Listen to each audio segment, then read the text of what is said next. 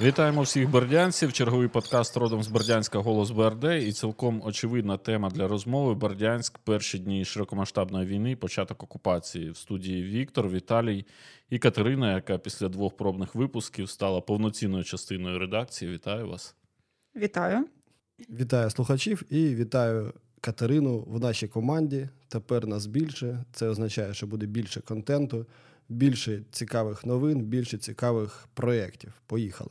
Оскільки цей випуск вийде саме напередодні широкомасштабного вторгнення, тієї події, яка поділила життя всіх українців на до та після, а в багатьох, на жаль, це життя і відібрала, то я вам пропоную поділитися своїми думками. Ви взагалі вірили, що такі події у 2022 році можливі? Ні, я е, чесно кажу, я не вірила і. Ти е, ті, з ким я спілкувалася, там друзі, рідні, ніхто не вірив в те, що буде війна, буде ось в такому масштабі, так, бомбарду- бомбардування, окупація. Це було просто здавалося, що роздувають е, навіщось. е, Ну, І ці ж розмови, ти пам'ятаєш? От, Так, так, я пам'ятаю про тривожні особливо. чемоданчики. І от ці всі розмови, і це здавалося. Ну я не розуміла, навіщо це робиться, навіщо про це кажуть, е, навіщо людей змушують там турбуватися, панікувати. Мені Коли здавалося, що іноземців просили виїхати з України. здавалося, це ну щось просто нереальне. Ну, я можу згадати, і ти можеш це згадати. Пам'ятаєш, е, був один день такий, може за тиждень, може за декілька днів до початку. До нас у гості на редакцію заходила людина, котра там зі спецорганів, називаємо її так. І він казав, що дає 98%, що щось буде. Ми його послухали, і ну, ніхто йому не повірив. Ну, я особисто не повірив. Але у той час, якщо ти пам'ятаєш, ми робили сюжет про одного е, бодібілдера. Пам'ятаєш? Мгм, Да, да. Який не випустили. Да, який не випустили. Ми, ми робили, і це, здається, був е, то, то середа, то четвер. І я мав це монтувати і вже випускати. І я тобі тоді казав, що в мене таке відчуття, що зараз цей матеріал взагалі не на часі. І тобто, ну, відчуття чогось поганого, ну, звичайно, були. Відчуття, що буде повноцінна війна, ну, не було. Але ну згадайте, нам президент так казав, що готуємося до Великодня, готуємося до травневих шашликів, і нас заспокоювала офіційно влада. А іноземні піддані та посольства здавалося, що вони просто ну перестраховуються. Ну просто багато е, різних розмов були, і вони вже тривали майже з рік, але звичайно, ну такого, щоб прохали іноземці виїхати з країни. Називали там і дати війни, здається, зразу 10, потім 16. У мене не було відчуття, що в ці дати щось таке стартує. Хоча ці кровожерливі заяви представників Росії, вони ну, якби тільки на погані е, думки наштовхували. Тоді якраз була Олімпіада в Пекіні, і я розумів, що Путін навряд чи там якось спробує зіпсувати настрій там своєму другу, тому що Китай готувався е, 7-8 років до найголовнішої спортивної події, а тут Путін йому ну, так, таку свиню підкладе.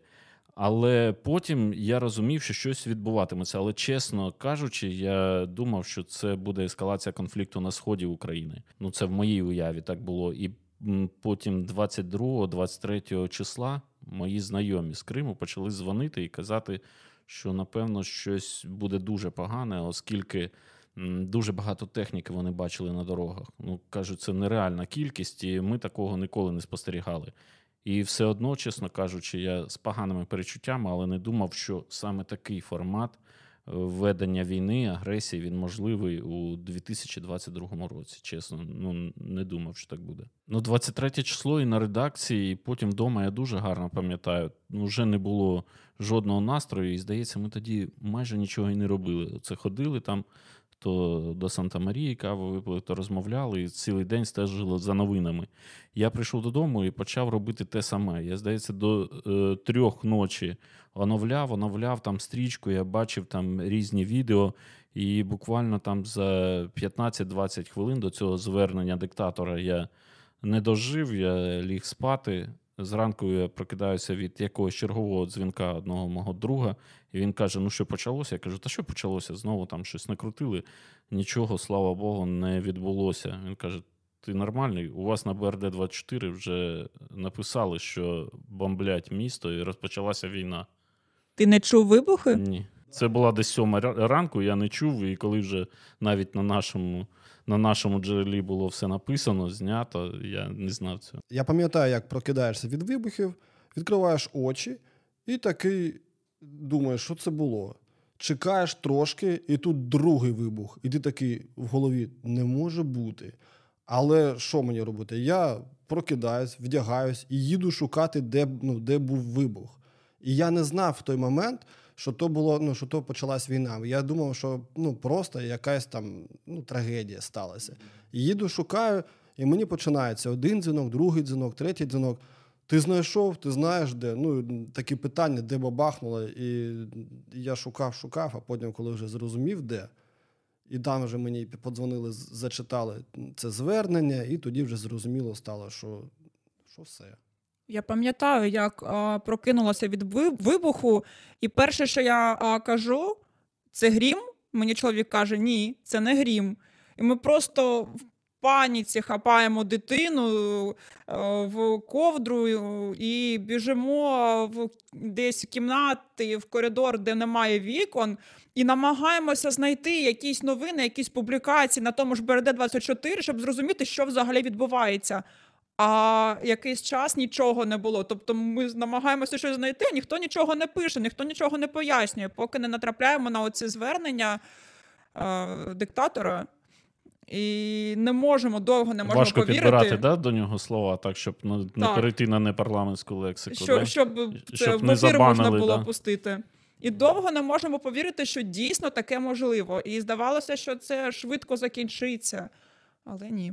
Ну і пам'ятаєте, яка погода тоді зранку. Я вийшов на вулицю, ну також думав трошки готівки зняти, бо не було зовсім. І така мряка була, така, ну, така паскудна погода. Я подивився, біля банкоматів там величезні черги. Всі люди вже побігли скуповувати продукти у супермаркети. Ну, я, я пам'ятаю, що я поїхав зранку на роботу. Я приїхав на роботу, там щось робив, пішов на Санта-Марію, випив кави. Ну, життя, воно там відчувалась напруга, але всі ще були ну, в стані з'ясування ну, взагалі інформації. А потім, коли вже воно стало зрозуміло сукупно, що це по всій країні, от тоді вже приходить там, ти розумієш, що ну, це реально воїн, ну, війна. Бо навіть там у 6 у 7 ранку, навіть після того, як е, Путін щось там заявив, це все одно здавалось, ну, щось не те. Ну, ми ж всі чекали, що воно буде там в Донецькій області. І коли там на роботі вже там десь під обід, такий, та ні, поїхав я додому, треба щось робити вдома, мабуть. Я весь е, день е, повномасштабного вторгнення, в- перший день, весь провела в чергах. Ми заправляли машину, довжелезна черга була на заправки. Е, Ми купували продукти, і люди на касах вже розповідали, що там е, чоловік, який сказав, е, там військомат вже порожній, там нікого нічого немає. Е, Ми е, стояли в чергах в аптеках, і люди казали: ну, мабуть, буде як в Донецькій Луганській областях, що вночі бомблять, а вдень люди займаються своїми справами. Ну а були якісь думки, наскільки це може затягнутися взагалі? Я, ну, я ще хотів сказати, що я пам'ятаю, ну, коли там вже приїхав там, в перший день додому, і та кількість повідомлень, котрі, котре ну, взагалі сипалось там в інстаграмі, ну, в Direct, це було настільки багато, людей було стільки питань, і ще намагаєшся кожному відповісти. І на це, на це ну, витрачалось дуже багато часу. Вже починав ну, там, дивишся на теле- телефон, а там повідомлення один за одним через кожну секунду. Ну, і розумієш, що всім треба відповідати. І до чого я це розповідаю? До того, що до, до твого питання, да, що я не знаю, в мене не було на це часу навіть. А ти, Кать? Я думала, що все ж таки якось е, стримають. Ну куди ж наші військові всі поділися, якщо їх немає в Бердянську? І ми думали, що якось, е, мабуть, е, є сили стримати їх. І ніхто не думав, що вони так швидко і так легко з Криму дійдуть по всьому узбережжю і захоплять всі міста навіть без бою. Я на, на оцих от анонсах Арестовича 2-3 тижні ну, дуже добре тримався. Він такий оптимістичний, 2-3 тижні. Ну, я так і думав, 2-3 тижні. Це вселяло Дивиш- віру, надію. Да, ти дивишся там марафон, в тебе вселяють надію, там, що ми такі єдині, що ми там даємо відсіч е, супротивнику. І мені тоді дуже не подобалось, як вони ця от фраза, от кожен їй казав, ситуація залишається контрольованою. Оце от контрольованою мене просто бісило. Вони нібито це слово вигадали, і кожен його каже контрольованою, контрольованою 2-3 тижні. І, і на цьому я просидів 4 місяці в окупації. І ми не знали, що ну багато людей там виїжджали на початку, але я пам'ятаю оці повідомлення, що там на дорогах мародерять і розстрілюють автівки, і зупиняють, просто там вбивають людей. І страшно було навіть кудись їхати, бо ти не знаєш, що коїться навколо тебе. Пам'ятаєте, що там. Ну, захоплено то місто, те, те, те місто. І тобто, ну, ми не знали, як діяти правильно, куди їхати. Бо ти розумієш, що плюс-мінус така ситуація зараз по всій країні. Ну, це ми вже стрибаємо ну, далеко, не в перший місяць навіть початку війни. Там, якщо ми е, розмовляємо ну, про, про Я, початок, я саме про просто, відчуття, коли да. е, війна розпочалася широкомасштабна, але ще е, не зайшли в місто Бердянськ окупанти. От якраз про це я кажу. Ми я кажу а, своїм сім'ї: давайте поїдемо до Приморська. Ну кому ти Приморськ потрібен? Ніхто не буде там до нього заходити, або в село якесь, давайте поїдемо.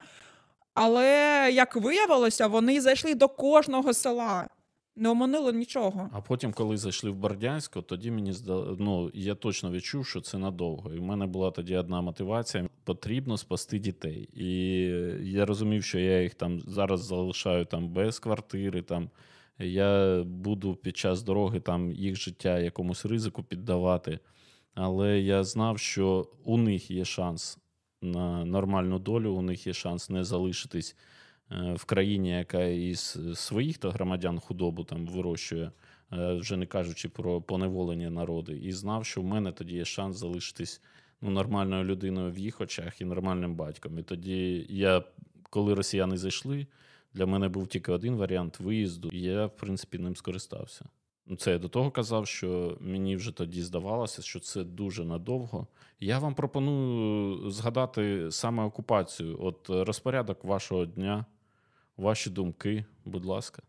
Просинаєшся вранці і йдеш займати чергу. Чергу в магазин, щоб купити дріжджі за 100 гривень і спекти хліб, бо його немає, або відстояти чергу за хлібом і отримати е, чорний або сірий, бо хліб білий розгріб, е, розібрали швидко. Чергу в аптеку, е, записуєшся і чекаєш годину на морозі. Чергу в банкомат. Е, Я простояла в банкомат, е, в банк, точніше, в банкоматах вже не було грошей. Я простояла весь день зранку, і до комендантської години я ну, встигла додому ледь-ледь, щоб зняти готівку. Бо пам'ятаєте, не було зв'язку, і коли немає зв'язку, то банки не працювали, не, не могли видати гроші. Тому, коли з'являвся зв'язок, то одразу були великі черги. І моє життя, життя моєї сім'ї, воно було в чергах постійно. Ну тому що потрібно десь знайти їжу, а її все менше стає і менше. І чим більше маріупольців приїжджало в місто, тим менше ставало продуктів.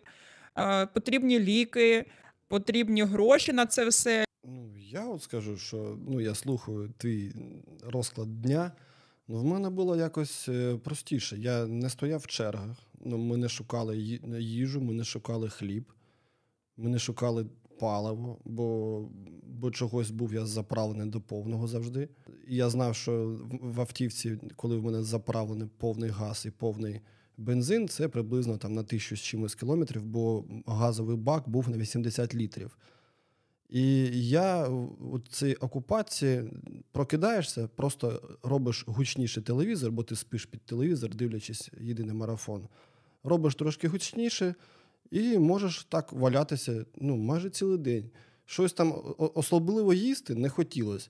Е, Коли вже звик, е, я просто зрозумів, що я, наприклад, можу цілий день нічого не робити. Я можу просто вийти на вулиці, сісти і просто сидіти, навіть там, коли зв'язку не було, просто ти як от в якомусь такому ступорі, в якомусь очікуванні. Це було жахливо. Ну, життя на паузі. Я дуже чекала тоді, пам'ятаю, весною. Мені здавалося чомусь, що навесні щось зміниться. І я так казала, може, в нас навесні буде другий день перемоги, але вже котра весна, і поки якось не трапилось. От з моїх відчуттів окупації я там місяць провів, але те, що стосується комфорту, це два акценти. Перший це тоді було дуже холодно і відключили газ, не було опалення. І це, напевно, ну, найбільш холодний березень, який був за останні багато років. Нам було ну, дуже некомфортно вдома. Всі похворіли, тим паче, що декілька ночей нам довелося провести у бомбосховищі поблизу е, Укртелекому. А друге, це коли пропав зв'язок.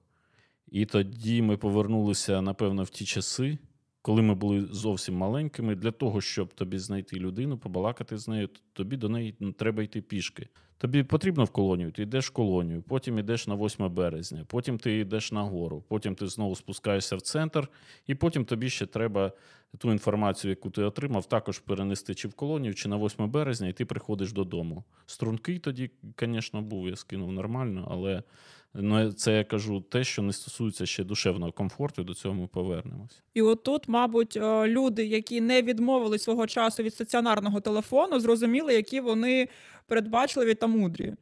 Тому що це був єдиний зв'язок, який залишився в місті. Да, Укртелеком тоді е, реально це було просто там: в тебе що, Укртелеком, все, я їду до тебе.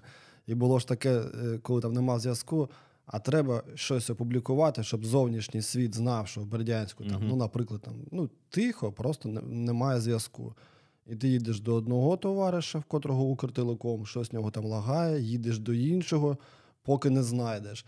І ото я пам'ятаю, був такий момент, коли там декілька днів е, місто без зв'язку. А я роблю там публікацію чергову, там в місті немає зв'язку, там ну тра-та-та.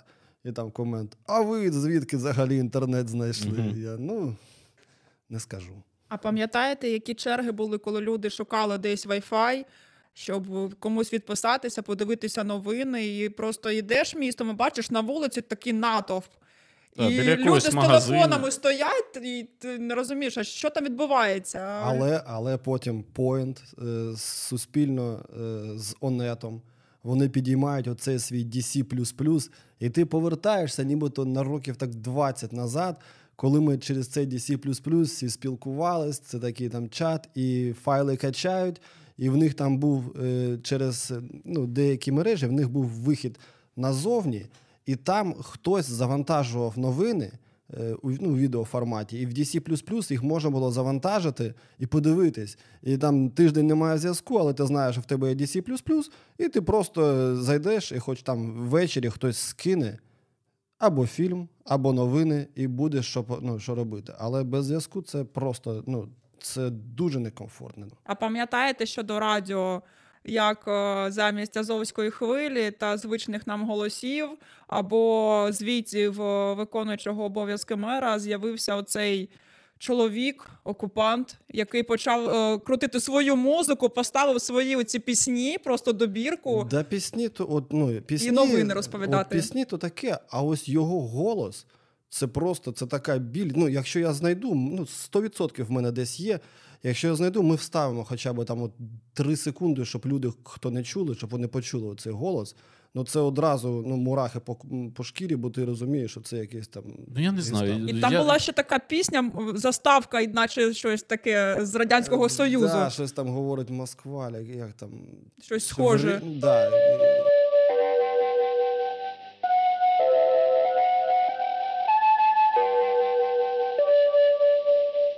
Дорогие жители Бердянска, ведь в каждой нашей семье есть герой войны, который боролся с коричневой чумой разными способами.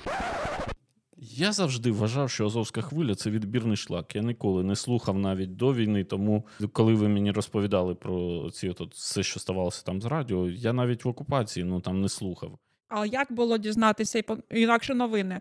Там, о, хоча пан Цвидло і періодично так викладав відео свої звіти, але їх треба було завантажити, і це дуже багато часу займало. Не завжди зв'язок, інтернет був. Було лише радіо до певного часу, і лише через радіо можна було хоч щось дізнатися, поки поки воно було під нашим контролем. Ну я пам'ятаю, да, він викладав, воно там важило під 200 мегабайт. Я думаю, ну це багато. Ти завантажуєш, переробляєш його там під 15, потім окремо ще вантажиш аудіо, щоб воно там 2 м- мегабайти важило. А потім люди навіть робили розшифровки, в коментарях збра... скидали ну, текстову версію. Ну, коротше, люди самі потрошку, ну, але там робили все, щоб прочитати або послухати. Ну, легше всього було дізнатися, що відбувається в місті ч- саме через радіо. Я ж не проти, я просто кажу, що я його і раніше не слухав, в окупації тим більше я не збирався. Довелося. Багато пропустив.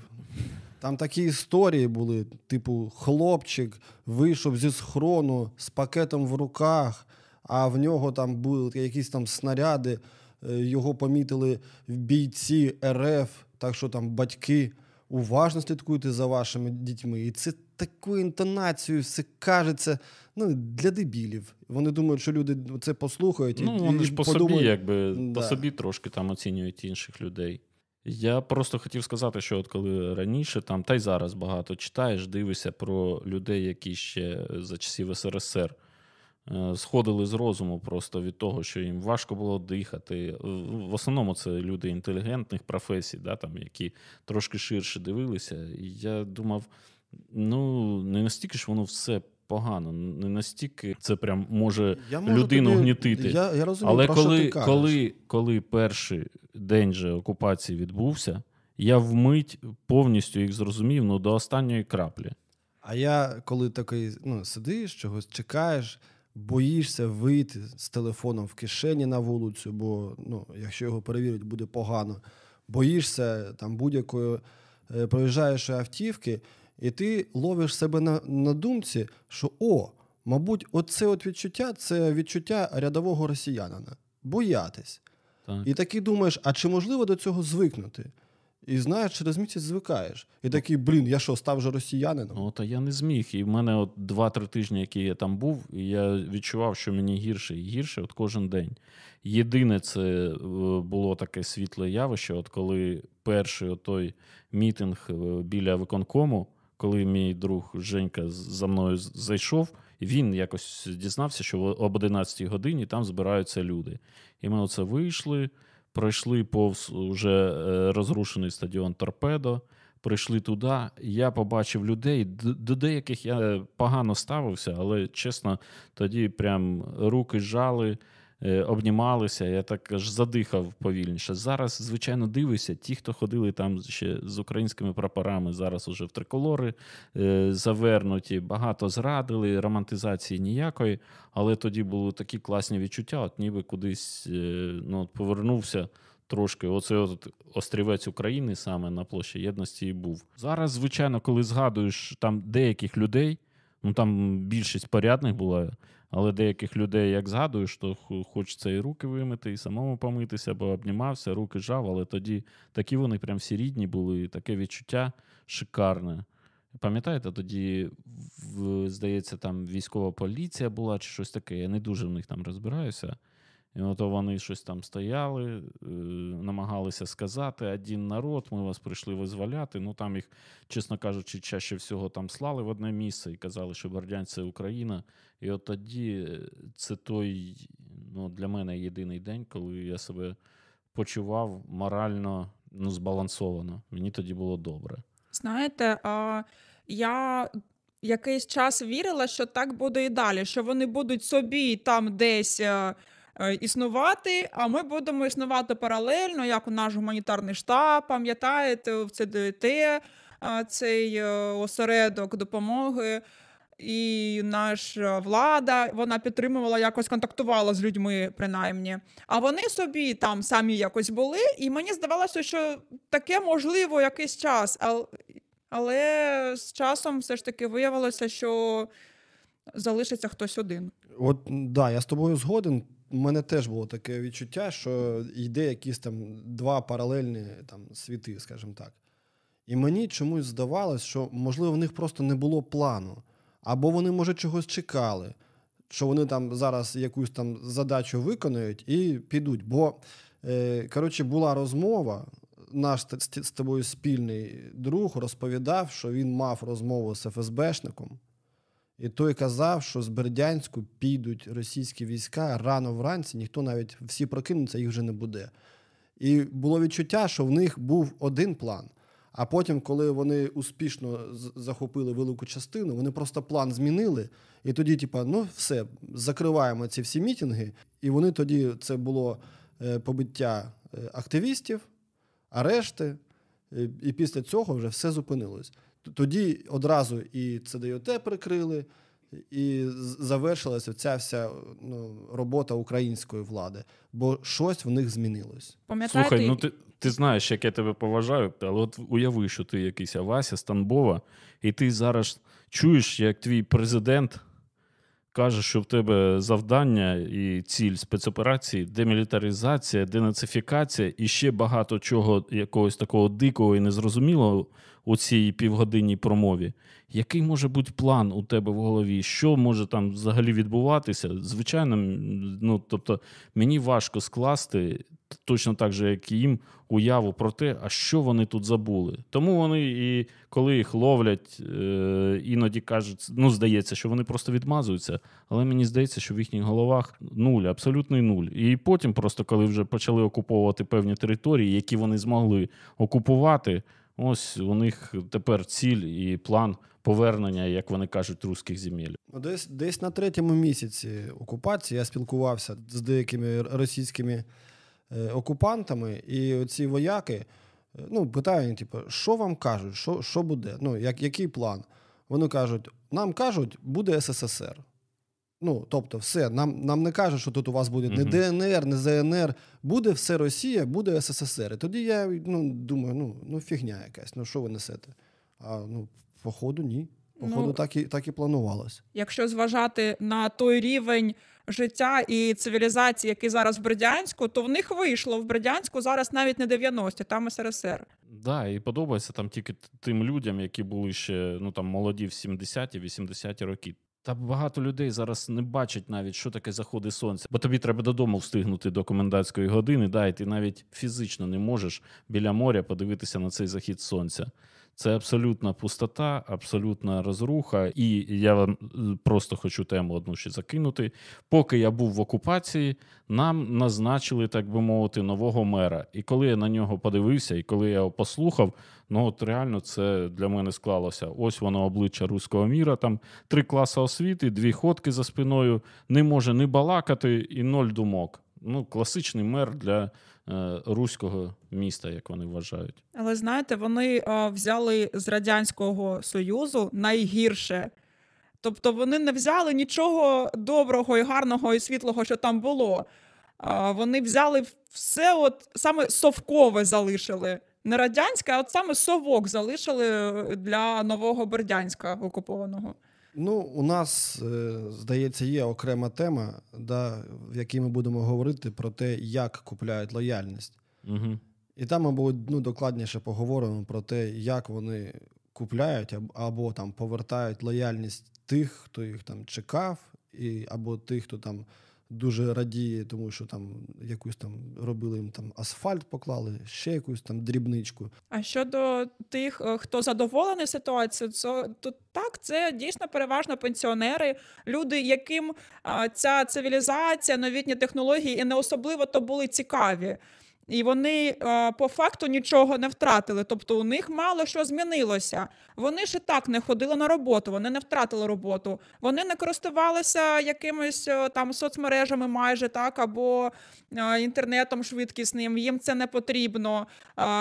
Їм ті банкомати, ну їм все одно на якій на чиїй пошті отримувати пенсії, мандрувати, вільно пересуватися Україною та їздити до Європи. Ну навіщо їм це Та потрібно? ну там найчастіше відповідь, да, ну на що мені кудись їхати? Мені мене і тут все влаштовує. Мені здається, що вони навіть від черг тих кайфанули, бо це флешбек із їхнього дитинства. Дефіцити. Бо вони, да, це для них була для деяких. Я не хочу всіх образити, але для деяких це реально була подія.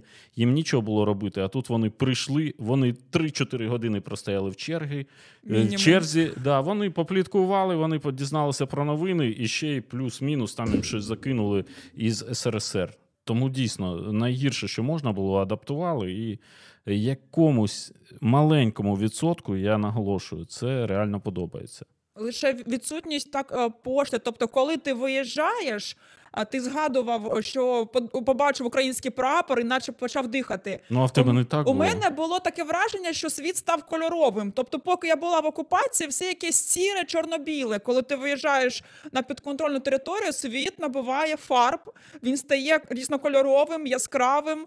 Е, І навіть оці обстріли вони не псують тобі враження, ці емоції твої.